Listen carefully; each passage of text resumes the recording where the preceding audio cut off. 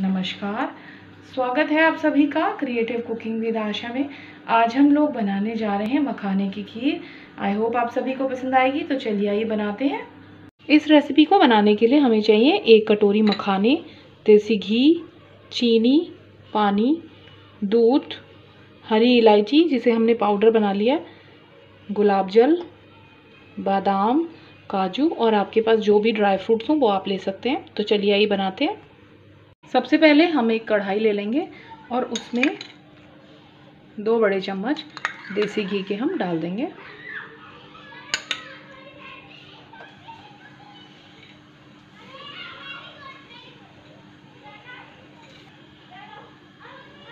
घी हमारा अच्छे से गर्म हो गया है। अब हम इसमें मखाने डाल देंगे और इन्हें कुछ देर भून लेंगे देसी घी में।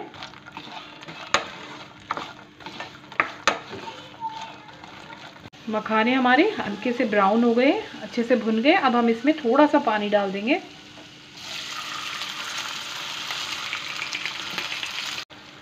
इसे हम लिड से ढक देंगे। इन्हें अब हम चेक कर लेते हैं। इसमें हम डेढ़ ग्लास दूध डाल देंगे। इसमें इलायची का पाउडर डाल देंगे। अब इसमें चीनी हम दो तीन बड़े चम्मच इसमें हम चीनी के डाल देंगे। चीनी आप अपने स्वाद अनुसार ही डालें। पाँच से दस मिनट के लिए इसे अब हम लेट से ढक देंगे। आइए इसे अब हम चेक कर लेते हैं। मखानों को हम अच्छे से मैश कर लेंगे थोड़ा सा ताकि खीर हमारी अच्छे से गाढ़ी बने। इसे इसी तरीके से प्रेस कर लेंगे।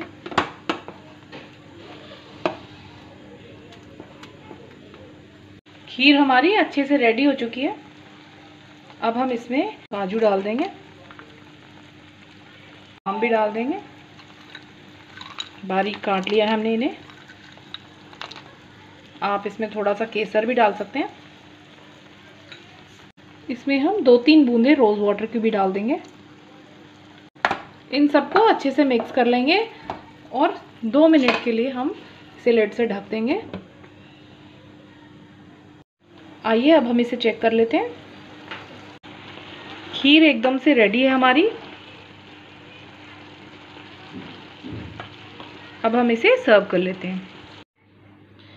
मखाने की खीर रेडी है। आप इसे फ्रिज में ठंडा करके भी खा सकते हैं या गर्मा गर्म इसका मज़ा ले सकते हैं।